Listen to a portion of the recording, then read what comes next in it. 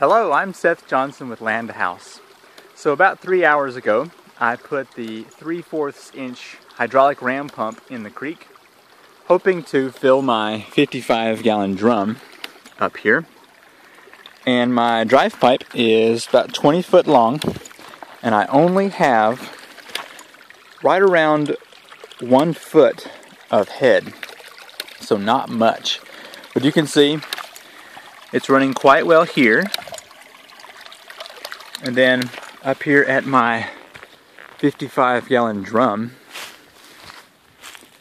which is at least 10 foot, maybe 8 foot above the uh, source.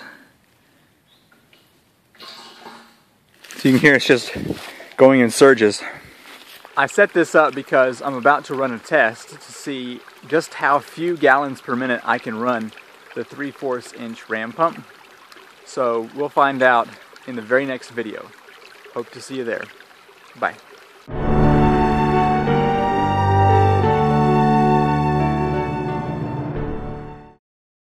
My friend Black Snake is back.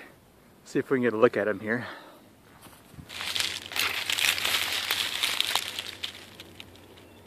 So it goes from, let's see, right here over here.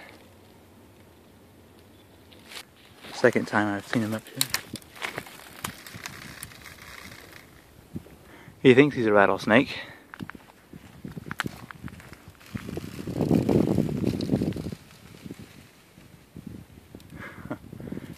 anyway, we'll leave him alone.